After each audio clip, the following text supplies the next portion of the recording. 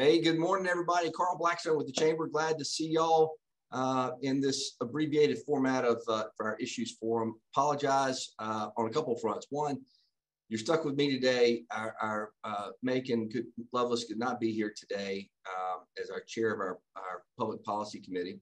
So he sends his regrets.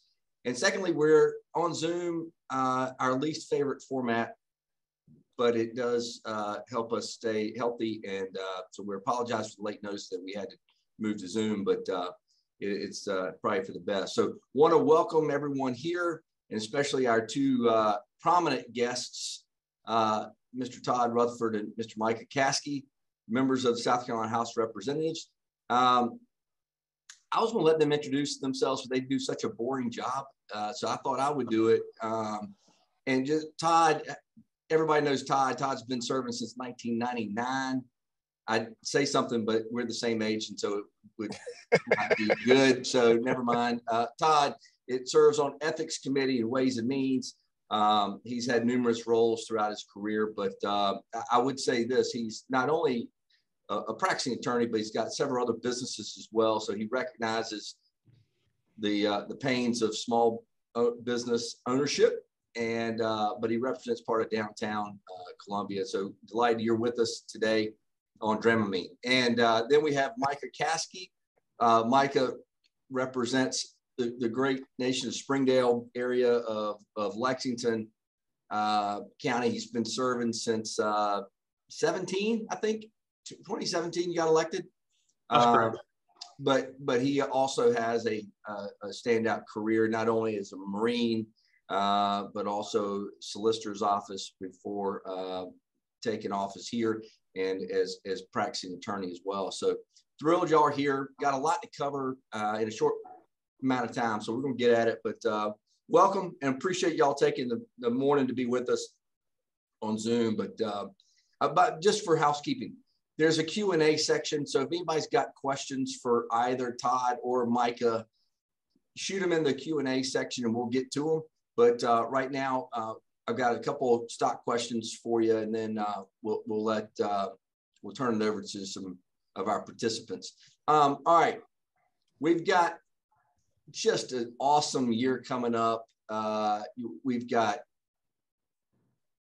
earthquakes happening. We're in the second year of a pandemic, and we've got billions to spend finishing redrawing election uh, lines for elections, and then we have elections for the House and for the uh, constitutional officers. Am I missing something fun?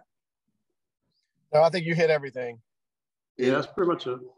So that's going to be the, the gamut for the for the next six months, right? That looks like it, and, and I hope that the Senate is going to pass out medical marijuana as one of the first bills, so at least we'll be able to self medicate and feel better about our lives going through this pandemic. hopefully at least. Uh, well, I tell you, I, Todd, you you have seen this, and I, I totally I, I just mentioned from the House side. What I didn't mention was the Senate is going through somewhat of a historic shift with the passing of, of Senator Leatherman. So we literally, I, I, maybe this has remnants of of 2001 when the, the Senate switched hands to Republicans. Do you think it is that big of a deal? I think it's even bigger than that because back then you still had the same people in charge. They just switched parties.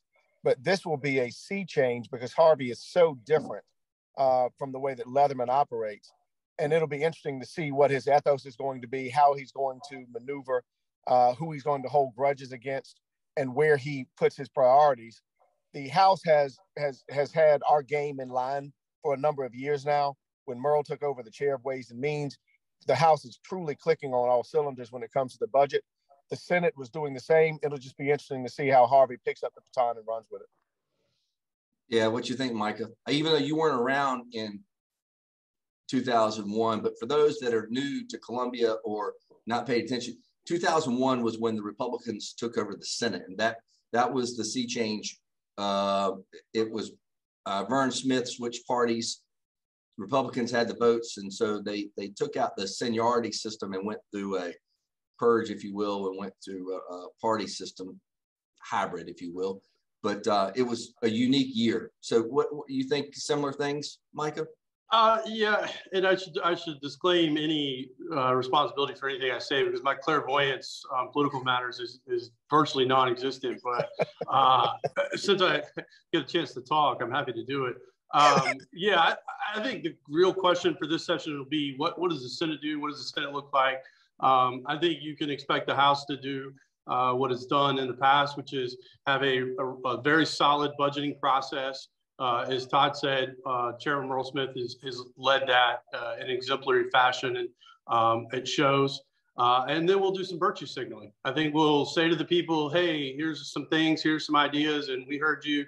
Uh, but whether or not those become law, um, or well, I guess whether it's good law is a whole separate question. But whether it becomes law or not will be a, a function of, of how the Senate operates. So I think, if anything, I'm as curious as anybody to see what what it looks like. Yeah, I agree. What since you dug into a couple issues, let's talk about some of them. I mean, literally, we we the pandemic is one. Uh, we're, we're certainly at a the spike of all spikes that we've had uh, currently. But with that, the, the trickle down impact has been 18 months of, of this since we shut down and, and we're coming in from a budgetary standpoint, the federal dollars that have rolled into the state are unbelievable, right? Uh, Todd, when I started, when you started, the budget was total South Carolina state budget was about four, three and a half, four billion dollars. Yeah, yeah. And this year alone, you're going to have three billion dollars to spend in one-time money. That's right. Uh, all federal, different pots. Um, is that going to be a monumental fight, or do you think there's some agreement within the House on, on priorities? I think it's going to be eh, both. I think you're going to have a fight behind the scenes, but I think at the end of the day, we're going to come together and figure out exactly where the money should go. But as you talked about, the lead off is going to be the pandemic and where this Omicron has taken us. I don't think anybody saw us where we are right now. I don't think we we anticipated lines around the corner for testing, running out of the, the at home test in any drugstore in South Carolina. Nobody anticipated that. And this Omicron appears to be so contagious that people are just getting it sitting around talking to one another, whether it's outside or inside, so much that everybody has it. And so we're going to have to deal with that first off, because we've got a room with 400 people in it. And sometimes when you got lobbyists and members and everybody standing out there, that it's going to be a problem for us to get together the way we were doing it last year. And I don't know how you move forward talking about spending that kind of money when you are having a hard time getting people in rooms. You certainly can't do it by Zoom call. So that's going to be the interesting part of it. But then secondarily, South Carolina has simply done a great job of budgeting. We we had our own reserves even without the federal money coming in. Uh, so anybody that's listening needs to understand that we are doing okay. In fact, we're doing better than okay, as long as this pandemic doesn't drag us back down. So we've got federal money, we've got state money, and most of our priorities have already been budgeted. So we're going to have money to spend to go to areas that hopefully will move us forward, that allow us to grab the baton and start running down the field with it. And I just hope that that's where we do it, and that's where we put the money. Now, the problem is again, those priorities raise their ugly head, and you've got to deal with them, and you just don't know right now at the beginning of session what exactly they're going to be. And I'll just keep talking because it's a Zoom call, and so it's hard to shut me up. But uh, the reporters have called me and said, "What are priorities going to be?" And it's really hard to figure out because until you start sessioning, until you get everybody in that room, until you hear somebody throw out an idea and know that that's something we're going to have to deal with, right now, I just don't know exactly what they're going to be. Yeah, interesting. Uh, Michael. Um, yeah, I, I, have to agree with everything that, that Todd said. I mean, certainly the the practicality of, of meeting together um, with a lot of people who like to talk and like to talk loudly uh, in a confined space, and not just. And, and this is important, particularly with respect to the budgeting process is most of the budgeting work is done over in the Blatt building in subcommittee and then to some extent full committee. Uh, and then of course in uh, smoke filled back rooms, which are all smaller spaces. And so how do you do that safely is, is certainly a question uh, that I know the, the speaker's office is, is working on. Um, and and uh, I'm optimistic we'll get we'll get a, a good product going. Um, but, and as Todd says, um, when we talk about budgeting, there's there's people who bring ideas to the table, and then there's uh, people like me who ask a lot of questions. Uh, you know, when you start talking about, well, let's we're going to spend billions of dollars in one-time money. You know, the thing that always come to, comes to my mind is what, what's our ongoing responsibility in, terms of, of, maintenance and upkeep and operation, and uh, what what sort of future obligations are we incurring when we just spend that money? Um, because very little things you, you, you spend money on, you build it, and you can just let it be with no maintenance costs. And uh, deferred maintenance is, is something that we haven't fully shrugged off uh, in terms of our responsibilities. I, am not eager to to uh, foist that on ourselves again uh, readily. Well, speaking of which, I mean, the governor came out with a proposal earlier this uh, well, late summer, early fall, with proposing spending 370 some odd million, I guess, on uh, widening 95 and 26, which I can't find one human being that travels the roads would not support increasing on, on interstates. But um, but we've got a ton of federal dollars coming for infrastructure. But with that comes the caveat of a $200 million price tag the matching fund for the state. Do you, are y'all on board with with up in 200 million a year for five years for DOT? Yes, yes, and yes, and yes, and yes. And we cannot at this point spend enough of that money preparing for the future. Right now, I don't care what highway you go down in South Carolina. I was going from 77 up 77 to Charlotte the other day and ran into the type of traffic that you used to only run into on 26. And if that's where our future is, we've got to prepare for it right now. You know, we've talked about the stories day in and day out of leaving South Carolina and going to Georgia on I-95 and how it opens up like the promised land. And you've got four lanes in each direction, and South Carolina is constrained to those two lanes. Christy Hall came forward with a proposal, said, give us this $376 million or whatever it was. We can start widening 26 to make it four lanes or three lanes, I'm sorry, all the way from Columbia to Charleston. We've got to do it. We've got to start expanding our infrastructure. If you consider the fact that 85% of the jobs at the port of Charleston are outside of Charleston, you know that those containers have to get there somehow. And that's a lot of trucks on the road. That's a lot of containers. If you look at the backup in containers coming into the country, once those containers get here, they've got to move from Charleston to the upstate. They've got to get on our highways, and we have to prepare for that. Yeah.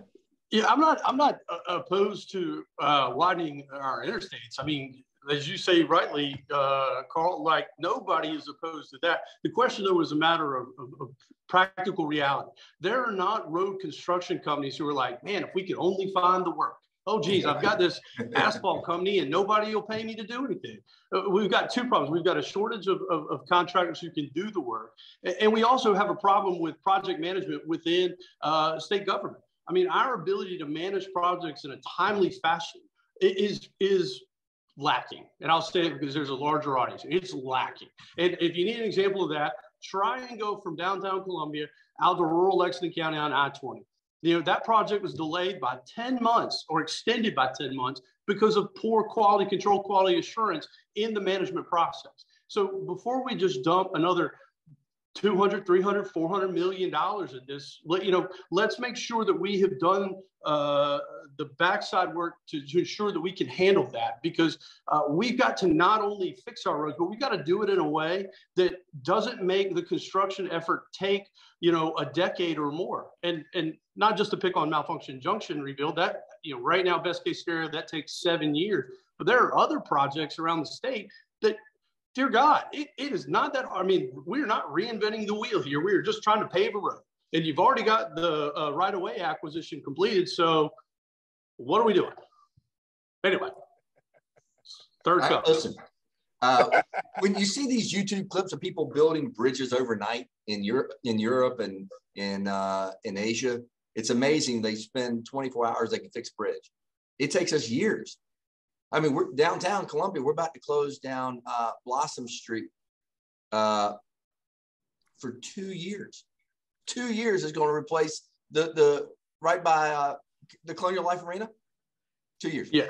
Anyway. Well, I'm, I'm, not sure we got to go to 24 hours uh, because I follow an account on Instagram. It's like OSHA OSHA fails. Yeah. So like there's some there's some space between 24 hours and, and 10 years that we should be striving to hit. And uh, you know, I, I commend uh, Secretary Hall uh, for a lot of the work that they've done, but more has got to be done. And before I'm ready to just throw hundreds of millions more dollars at this problem, um, I want to ensure that we can implement that in a responsible way. Because if I'm going to pretend like inflation is not a problem, I'd at least like to be able to know that it's going to uh, yield a result that, that improves people's lives. Yeah.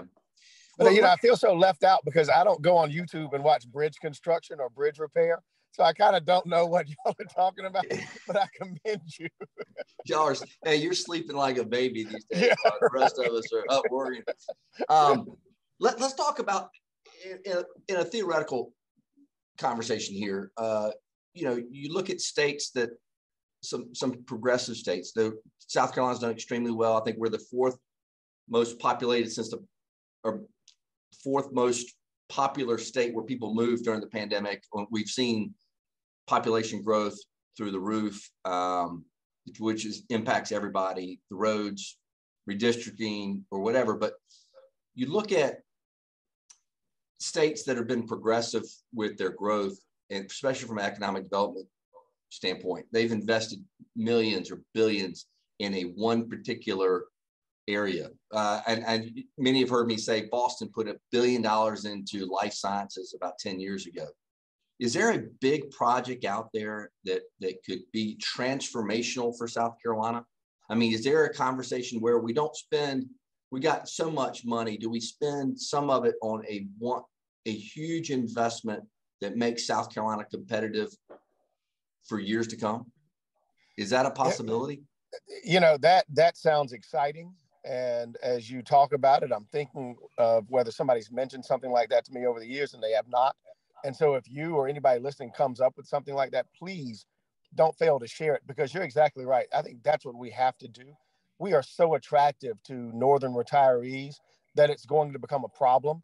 And if we don't transform ourselves into a state that simply accepts people that are coming down here because they like the fact that South Carolina is a low tax state, but they don't want to spend any money. They don't want to make anything better. They don't want to improve the lives of anybody because they did just fine up north and they just want to come down here and retire.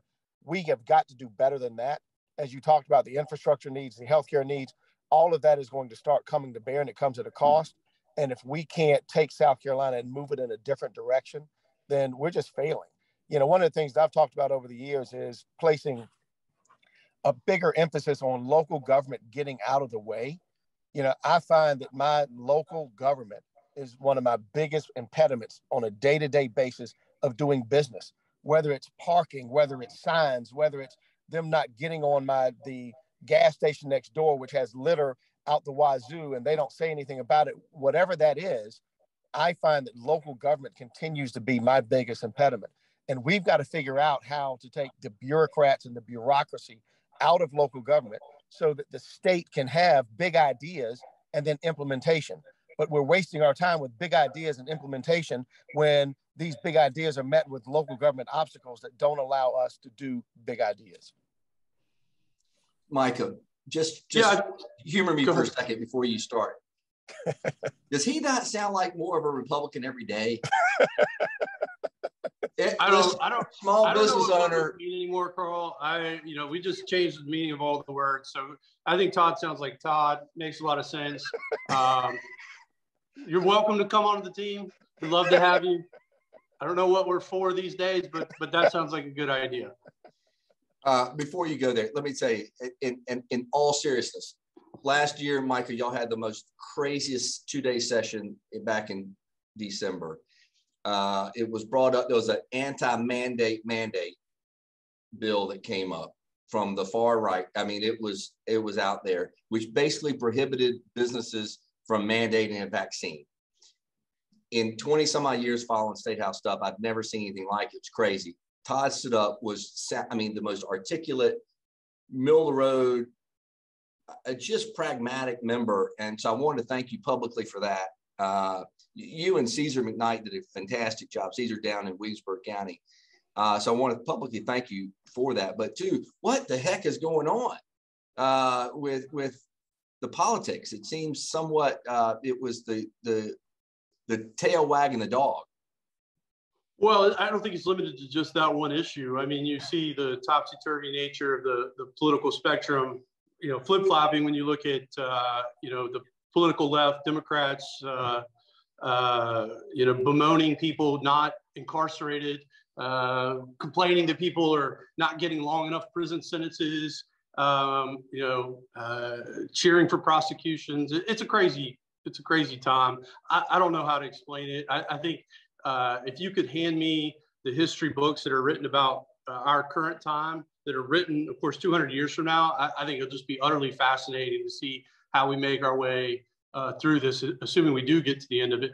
Um, and I'm not convinced that we necessarily will, given that we've had what seven earthquakes, six earthquakes in the last week.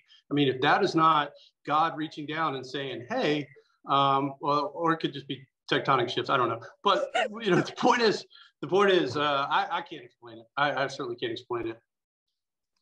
Um, it is definitely an interesting time. All right, I, I didn't let Micah. I don't even remember what the question was now, but uh, I don't remember we'll, either. We'll switch to another topic. How about? All right, we talked about. Let's talk redistricting. Is, uh, is the House going to pass a crazy Senate uh, congressional plan? Uh, maybe the first two weeks. You got to right. You got to do something quickly. We have to do something quickly because the lawsuits are coming, and so we've got to get a plan out so that the lawsuits can come. Uh, and I have not seen the latest congressional plan. I'm interested to see it and see how people will calm down or even get more excited about it. Uh, and for those people that are not dialed in on this, apparently the first two House plans that were drawn regarding congressional districts uh, simply packed every black person in South Carolina into Jim Clyburn's district. And I don't know who that made unhappy, except I know it's going to draw lawsuits and probably the only way that our plan would be struck down. So they went back to the drawing board. I'm told that there's another plan out there that maybe does a better job. Uh, but Michael's on judiciary, so maybe he can speak to that a little bit better than I can. Um, I cannot because uh, I'm not on the the subcommittee. I've had no involvement uh, really in the redistricting plan, um, but but I can say that I will have involvement uh, next week because, uh, as Todd says, this is something we're th- this will be our first uh, priority of business is to take care of, of redistricting. You know, we, are constitutionally obligated to do that, um, and we've got to do it quickly so that uh, the lawsuits can proceed. Um, I'm hopeful that whatever we do pass uh, will pass judicial scrutiny, um, but that's something I, you know, I'm just saying because I'm supposed to. Uh, if anybody had a, uh, the wizard hat and looking to the future, does anybody think that we get does does uh, filing get pushed back? I don't think filing gets pushed back. I, I think we're going to have an answer before then, and, and in particular, if it's congressional filing, there's only really a couple of districts that are complaining, and if the House can't fix those, then we just need to go back to the drawing board right away and do it, because uh, that just doesn't make any sense. We've done a House plan; everybody's pretty good with that, even though I'm sure we'll get sued over it but it looks like it's a decent House plan. We've done the same thing with the Senate. It's only the congressional plan that is up in the air in this point at this point. All right, let's talk about redistricting for a minute. And I know Lynn put a put a question in there about redistricting. The Midlands got screwed out on this one, right? I mean, at some point, uh, the, the coast got picked up because of population, but we, I mean, losing the Senate seat, losing the House seat, what's the impact? Well, when you get elected right before reapportionment, what you don't do is tell people that you're going to retire because what you're essentially telling them is that your district is going to be dissolved, which is exactly what happened to Senator Harpootlian's district. He said he got elected so that he could make sure that that district stayed, but he also said he wasn't going to run again, which is, again, the reason why he no longer has a district. Uh, and yes, we lost a House seat because what you had was population growth on the coast. You had population growth in the Greenville area and simply not enough population growth in the Midlands area. Yet, when I look at local government, I don't see them doing anything to get the barriers out, out of the way so that we can have growth moving forward. Uh, and it's disturbing as I look at county councils in the area and city government. I just don't think they get it. Know, I now live in the city of Columbia, which does not have a soul. There is no entertainment. There's no place to go. Everybody goes to one restaurant. The name is Halls, if anybody's wondering, uh, because that's the only place to go in the city of Columbia. And it's disturbing uh, we've got to do a better job. The city's got to do a better job. The county's got to do a better job. I've already talked to our mayor about it, uh, but it's just something we've got to work on because people need a reason to go places. And what we don't have is a reason to come to the Midlands. You know, if you're a business looking to come to South Carolina, are you going to go to Greenville and look at all those restaurants in the nice downtown area and leave there and go to Columbia and go, okay, well, we got one place to go in the city of Columbia. Other than that, we've got a senator that hates the entertainment district for the college kids, and so that's closing down. We've got a college that can't entertain anybody, and so I don't know what they're going to do moving forward. You know, we've got to figure out how to do a better job in the Midlands, or we're simply going to die on the vine the way it looks like we we did before reapportionment. Dave Micah. Yeah, I think I think it's a function of the fact that you know the Midlands has just not kept pace with the growth of the rest of the state, uh, and specifically, uh, and, and, I'm not uh, casting you know too negative of aspersions here, but it's the city of Columbia and Richland County. Uh, you know, Lexington County is growing, West West Columbia, Cayce are growing, um, and, and, the city of Columbia is not. And and I'll be the first to tell you that Columbia is the big brother here in, in the Midlands region, and uh, you know that's a very wide river behind me uh, literally and, and, and more importantly, uh, as a metaphor, um, because we're not bringing people to the Midlands. We're not bringing people to Columbia for any particular reason. And, and the power of a politician by force of personality to preserve the status quo can only go so far. And I'll leave the you know critiques to the, those approaches uh, to others.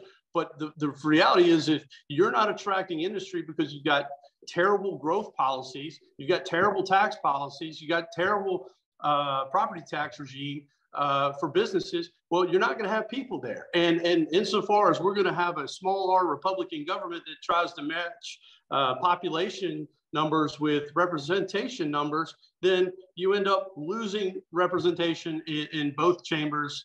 Um, and, and, it's not a great long-term fix. And I, I point very uh, directly at local government for that because you can't ask state government to come in uh, and try and fix all your problems, uh, and certainly not the federal government.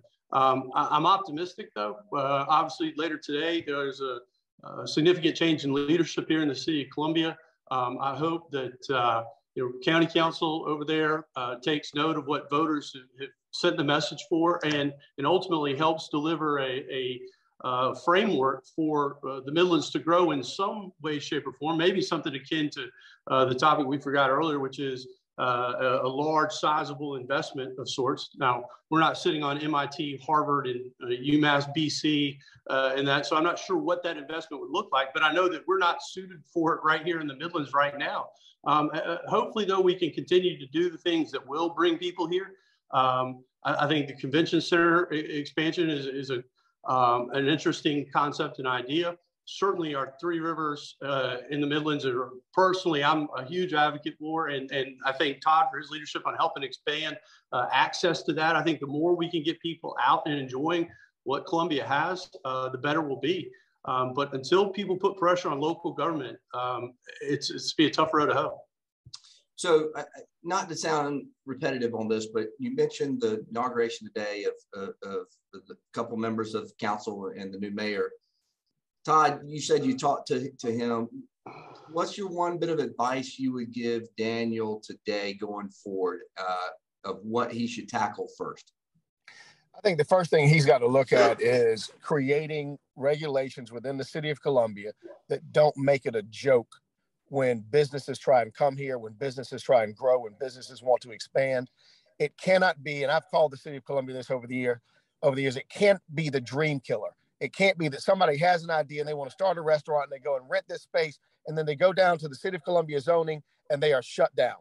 It can't be that they go to Richland County and they have the same issues. We've got to tackle those issues. We've got to make it so that we are getting in front of people trying to knock down barriers rather than becoming the barrier so that they can't operate.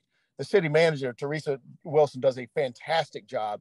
And every time I've talked to her, she's she's moved, she's made phone calls, she's tried to do those things that have bumped up against policy.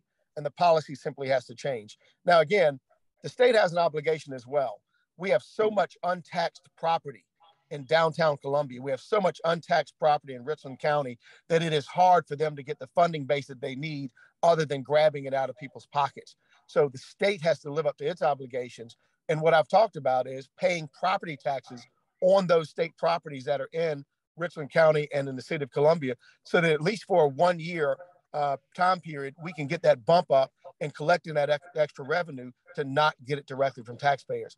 But it's not just that, it's not just taxes it's bureaucracy. It is having a vision that allows people to come to this city and enjoy themselves and want to feel the need to come back. It's why people are moving to Charleston. It's why people are moving to Greenville. And it is exact. It is exactly why people are not moving to the city of Columbia. Yeah, uh, Micah, if you talk to Daniel, what's the first thing you suge- would suggest he do? I think it's a it's a question of, of communicating the values that he wants the city of Columbia as as an as an institution to have. Uh, and I talk about in terms of leadership. It's not a resources problem. It's it's a leadership problem. Uh, when you try to interact with the city of Columbia, it is consistently a uh, a problem of people looking for opportunities to say no. City staff look for ways to say no instead of look for ways to say yes, and they make life more difficult than it needs to be. Uh, they don't try and help you solve and solve your problems and start that business and, and open your shop doors. Um, and I think, again, that's a culture issue. Uh, to the extent it's a policy, then, you know, top to bottom, let's overhaul it and the city of Columbia pass out the new policy uh, or change it by executive fiat, whatever the, the appropriate mechanism is. But, but more than, than that uh, black letter law, the problem as I see it is just a mentality. It's a it's, it's a lack of responsibility. And I'll give you one quick example from my own uh, experience as, as a practicing attorney. Uh, I have a case over in the city of Columbia, and, and I needed to file the continuance. And so I uh, had a conflict in a different court. And so, uh, like most courts in the state, I mailed over the you know the request and a form, and uh, I get an email back that says, uh, actually, you need to do this on our, our website. So, okay, no link, mind you. So I go uh, try to find it. I find the City of Columbia's website. I'm happy to do whatever I'm asked to do. I go to the City of Columbia's uh, municipal court website and uh, the link is broken to continuances. So I mail the, person back and I say, hey, uh, could you send me a link? Because the link I found is broken. And the response I got was, in totality, columbiasc.net or whatever the city's you know marginal homepage is right? So now I'm like, I'm sorry I was unclear, but your link is broken. How would you like me to do what you just told me to do? And, and that isn't such a, a, a moment of boohoo, Micah, the lawyer had to do the thing, but it is, it is an example of the mentality that is leadership driven.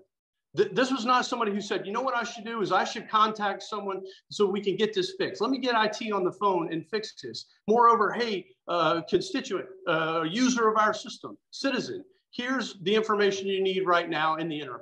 And, that is the problem that I would say to Mayor Rickenmann, to the new councilman, uh, look at opportunities of that nature first. Yeah, that's. Good, good advice, both of you. Thank you for that. I'm going to skip over and uh, there's a question from Mary Gilliard I want to ask you. And this goes, this is going to go back uh, to some, uh, a previous topic, but uh, it's a good question. So uh, Mary says, good morning, everyone. My name is Mary, and I'm just about to open up a brick and mortar uh, Mary's Kitchen. My question about the budget would be, if you were going into a lockdown again, is there money from the state that will help us small businesses stay alive and afloat, or do we need to rely and wait solely on our federal funds? I don't think we're going into a lockdown again, but I think what Mary does have to consider is right now because of COVID and Omicron, as we've discussed, and as this is as this forum in and of itself has moved to this virtual setting, what's going to happen to restaurants moving forward who are looking for that density, who need that density, and who now can't get it for fear of making people sick. What is the state going to do to push back uh, on that and make sure that they are successful? And people like Mary can start businesses and not feel like this is not the right time because of the pandemic. So we've got to make sure that Mary's okay on the state level, on the local level. I don't think we're going into a lockdown, but I do think we've got to be careful with Omicron and what it's going to do to restaurants that require that density in order to be successful. Okay, great. Um, Mike, anything to add that be covered? No, I think that's that's right. I, I would, uh, I, I have hard pressed to believe we'd be in another lockdown situation, but the the the uh, replication of, of Omicron is, uh, if, for no other reason, a worry about workforce. You know, when people, you know, I know the CDC cut their guidelines down in half, but if twice as many people are getting uh, the COVID and are out of, then you're going to have those challenges. But I don't know the government can fix that. Yeah. All right, let's switch to another topic altogether. This is one that's near and dear to y'all's heart. It's because uh, y'all are practicing attorneys. But one of the big issues that have popped up uh, in, in, for us that we're hearing from our members is the cost of, of, of insurance for companies uh, right now. And that's mainly because of a court case that happened back in 2019 is dealing with joint several uh, several liability. Um, is that coming up this year? Is that have y'all been hearing this, or is this uh, inside baseball, or what what what's the the tort reform temperature these days? I have I have been in on meetings where we've discussed it, but I've also understood that this is another problem being generated by the insurance carriers who realize that if they just raise the premiums for businesses and make it so that they can't operate by paying those premiums, that businesses are going to come to us and demand that there's a change. When in reality, most lawsuits that I've looked at have not changed over the years. Uh, people are still responsible for their own conduct and that I don't believe that we need another round of tort reform, and especially the joint and several plans that I've seen that would change it. Uh, but again, we're always open, we're always amenable. I just don't believe that insurance companies charging more money has created the crisis uh, that I've seen. What we need to do is figure out how to regulate insurance companies better so that they can't price people out of the market by simply raising prices on people. Okay.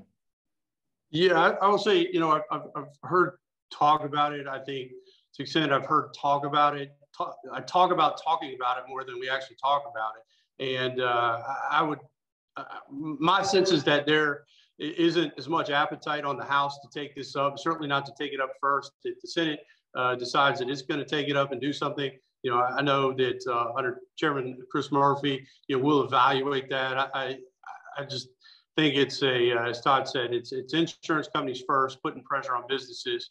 Um, but happy to look at whatever that proposal may look like. I just don't think it's at the top of the agenda, uh, certainly on the House first side of things. Well, especially with a year that's abbreviated.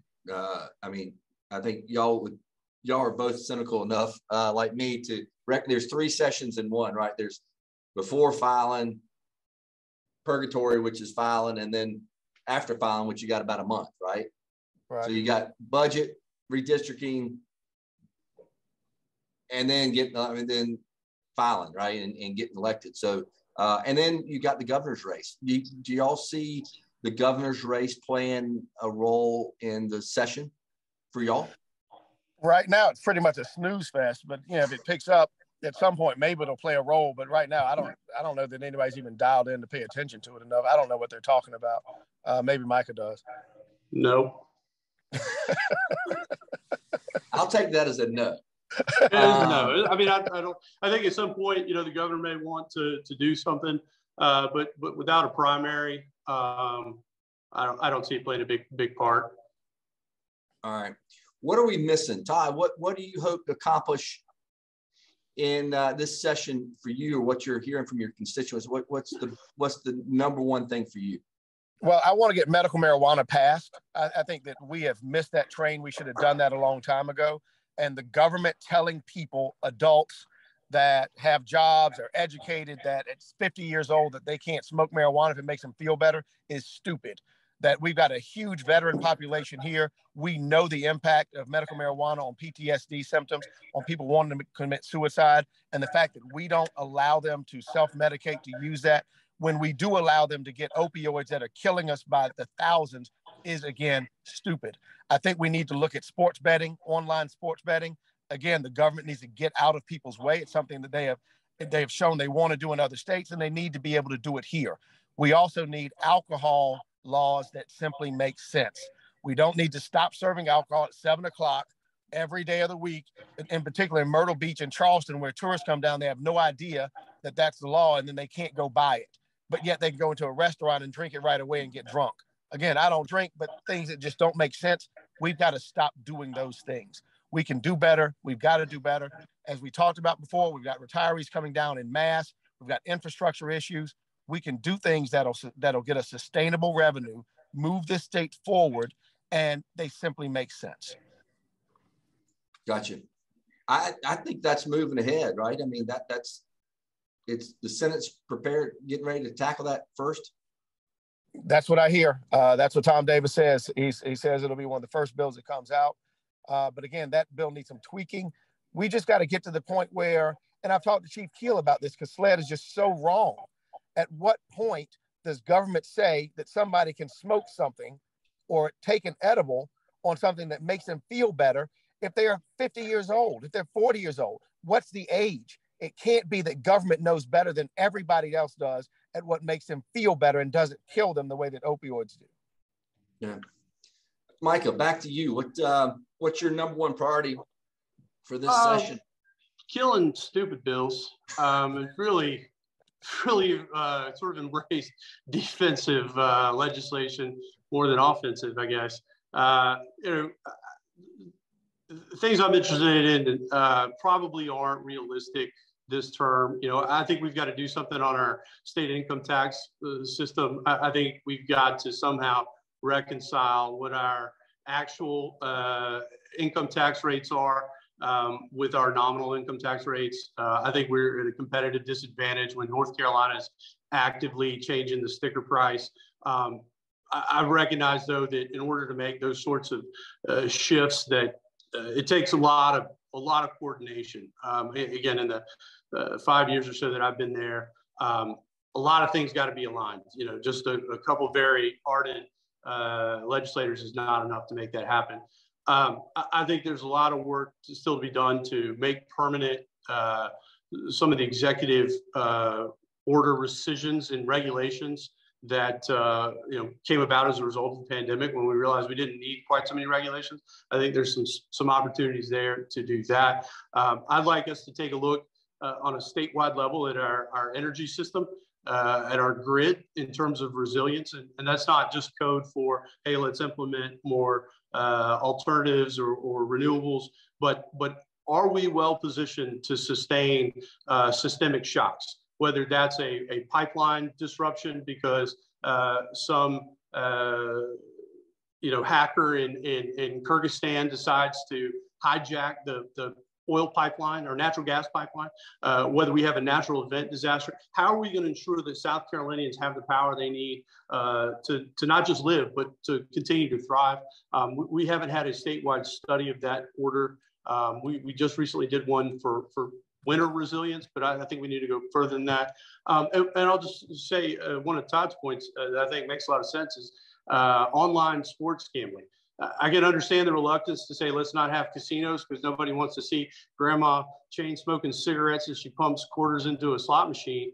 But if I could sit here on my phone and bet on made up things like cryptocurrency, which are completely made up, absolutely detached from reality, what's fundamentally different than that than me uh, placing a, an online bet uh, on a sports app of some kind? That, that just, somebody's going to have to reconcile those two uh, for me. Um, but otherwise, yeah, just stopping stupid things, hopefully. Um, With respect, all due respect. No, I, just I'm listening to y'all and just laughing. I think this is great. It, it's actually very informative. I don't I'm not taking it lightly. I just uh, it's fun listening. Um, you mentioned Micah on the tax stuff. I mean, there's obviously with this much one-time money coming in, is now a time that we look at the tax burden that we have. And obviously, North Carolina is going to kick our panties in the next few years with the structure they have. One on incentives, they're they are incentivizing tech companies at it, and with Apple going in there, Google going in there. I mean, they are doing phenomenal things in North Carolina to attract high talent jobs. By the way, average pay is one hundred eighty thousand dollars per job, and they're getting three thousand of them. Uh, what do we need to do specifically on the tax to be a step ahead? Or not even, we're, we're so far behind. How do we catch up or go ahead? Well, I think there's there's more uh, aspects of that than, than meets the eye. I mean, first of all, when you when you look at North Carolina, you have to recognize some of the earlier decisions that they've made to build a framework for th- that uh, sort of expansion of a tech space to to to grow. And, namely, they've got a higher education system that is first class. Uh, the the North Carolina higher education system uh, is leagues above where we are, and I think we've got to do better there so that we can uh, have the workforce to support that sort of industry expansion. Not to, to say we don't have that here. Obviously, we're doing it uh, in in some tech areas, insurance software, for example. We could do more there. Uh, but specifically to your question uh, with regard to taxes, um, I'm not sure that we really want to make fundamental changes in our system. You know, we've got a three-legged stool here of, of revenues between uh, uh, property taxes, sales taxes, and income taxes, that we really want to disrupt that in the middle of a, a pandemic to which we've not yet seen the end of. Um, but that being said, I think there are some opportunities to look at improving our uh, incentive uh, regime. Um, I, I, think certainly there's some some disclosure and sunlight uh, improvement opportunities uh, that I know Todd has, advocated for in the past. Um, I think we could do better there. Uh, and again, I think we could reconcile our, our uh, marginal income tax rate with our actual um, our nominal income tax rate with our actual income tax rates. Um, but that requires then uh, the, the always evil special interest to accept that, that maybe we, we shouldn't exempt the uh, newspaper baling twine uh, from uh, sales taxes of sorts uh, or income tax. You've got to kind of, you got to fix all that at once. Right. It's the Act 388 problem, but of a different flavor. Which is why, Todd, is I think in 22 years, are there six tax studies is that it? I'm, I'm, sure it's more, and I'm sure there's other panels and groups that have gotten together trying yeah. to fix it. But you know, like yeah, let me be clear. I don't, I don't want to be too loud about this because then you get sent to some ad hoc committee to waste your summer coming up with some report that nobody reads. So uh, please, nobody. yeah, yeah, no, I, I, wasn't. Just, uh, I wasn't going there. I just say that's why it hadn't been done. Uh, there's been all these tax studies that said we need to go and do it. It's tough because right. you, you, it gets so big it, it turns out to be the the, the elephant. Uh, right. Anyway, all right. I, I had a, uh, look, if I can just say this, Paul. I had a I had a boss one time, a tank commander, who just said, at some point, you got to stop standing around and admiring the problem and going, "Wow, that is a big problem." Oh golly, that is a that is such a big problem. At some point, you've got to start acting and eating that elephant one bite at a time. Um, and, and, maybe the first bite is around our incentive structure, uh, wherever those opportunities are uh, I'm not advocating any one particular approach, but but I think uh, in light of the fact that our competitors, and we are competitors with North Carolina, Georgia, Tennessee, Alabama, we've got to, to recognize that we're in a time competitive space and start taking action now, or otherwise we're going to wake up one day and, and, find out that we're the southern state where people uh, are immigrating from. I agree with you. 100% there. All right, we're closing in on time. I got a couple comments I want to read out one, um, William Cook put this in. If you, uh, I'm going to answer a question and, read it at the same time. Are we obligated to spend all the federal dollars within a specific time period? William, it all depends on which department, which what bale of money it is. If it's DOT money, you do have a certain amount of time, but the state has an obligation to submit, um, I think, 20% matching funds. So it all depends on the strings of the agency. Um, I think that's right, guys. Uh, that's right. Uh, Heather Mitchell, uh, one of our board members, uh, Todd, sent you a, a, a question slash comment. Todd, is vice chair of City Center Partnerships, which promotes the Main Street District, I'd like to invite you to have a drink on the rooftop of Hendrix, go dancing at the Woody, listen to jazz at the joint, play pinball at Transmission Arcade, check out our elegance. It just opened smoked uh, or a glass of wine at Lula Drake, sweet cream, or watch football outdoor at Market on Main. We need you as an advocate for Main Street. Listen, I'm there. I've done all those things and do them on a regular basis. I also go to Soda City almost every Saturday morning to enjoy what Main Street has to offer. But we've got to be bigger than just one block. We've got to be bigger than just one street. Uh, the city of Columbia can do more, and we just simply have to get together, pull up our britches, and get it done. Great.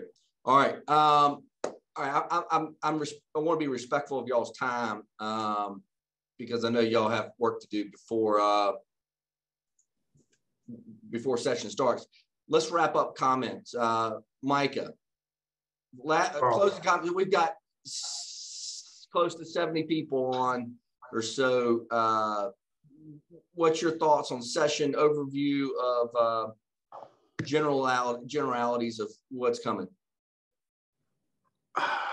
You know, I, I think it's we'll we'll spend time on redistricting, uh, which will be uh, a lot of bloviating, virtue signaling. I think uh, the serious people will be working on budget stuff. Um, I, I, suspect there'll be a couple issues that don't come to front of mind that we'll take care of. Um, but being a, a uh, election year, um, I think you'll see kind of a lull uh, coming into second half of February, early March. Um, until filing's done. As you said, Carl, probably three seasons. Um, and most of the work, it's the serious work is going to be in the budget stuff. Um, I, I, don't see uh, a whole lot of uh, seismic legislation on the House side, and I might be just totally missing something right now. Um, uh, but uh, yeah, I think most of us who who follow this stuff are going to watch the Senate and see how the Senate acts and what they do, um, and if uh, they can produce something useful. Todd. Oh, I couldn't agree more. And, you know, I think all eyes are going to be on the Senate to see how they react and how they get through legislation that's important and what they're going to start doing with their budget process. I don't really see anything right now that's seismic uh, coming out of the House. But again, I could be wrong. We've got a leadership meeting later on today that we'll take a look at uh, the ideas that are coming forward. I just hadn't heard of anything that right now everybody needs to get on board and figure out how we're going to handle it. Okay. Well, let me tell you, on behalf of the Columbia Chamber and our partners in the Midlands business folks around here, uh, we appreciate y'all's leadership. One, uh, really thoughtful thinkers here, and I, am not, you know, I don't blow a ton of smoke, uh, but I really do appreciate y'all individually, but also how y'all look after us. So thanks for that, and um, let us know how we can help you coming in uh, to the session. If there's something you need from us, don't hesitate to. Uh, to well, Carl, let me let me interrupt you to take advantage of that because there is something that you and, and all 70 some odd people who are listening can can do. And that is if you are a normal, sane, thinking person, then you should be engaged in the political process. Because if you stay silent, whether that's using your voice, social media, or your money, if you are not engaged in some meaningful way, then you are ceding good governance to the crazies. And they are on both sides of the political spectrum. And, and I cannot emphasize enough how important it is for rational people to, to engage in the system. And, and if you've taken the time to spend your, probably most of them are paid lobbyists and they have to be here or at least get the bill for this. But if you, if you care, if you give a damn about a good state, a good country, a good locality, then you need to get engaged in some meaningful way. Spend your money, use your voice, get your friends out, because otherwise we're going to be we're going to be in a world of hurt in the not too distant future. Thank hey, you. Hey, thank you for that. In, in, closing, I just I'm sorry, I'm just seeing a comment from Ron Harvey. Let's look at uh, military pay and and making all that tax exempt at some point.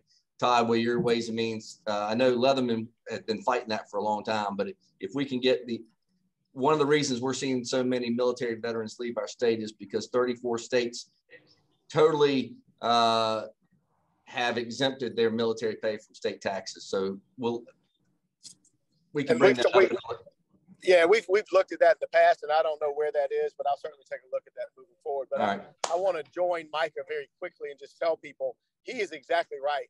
The crazies are going to take over, and you're going to look up, and there's going to be nobody left at that state house that understands normal or that is normal. It's going to happen on the local government level as well.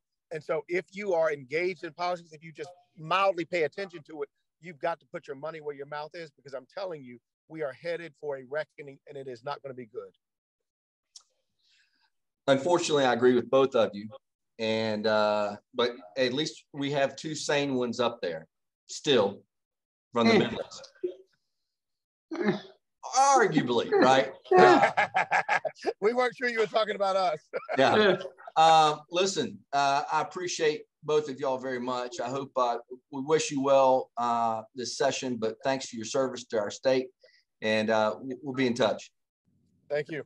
Thank you. Appreciate the opportunity.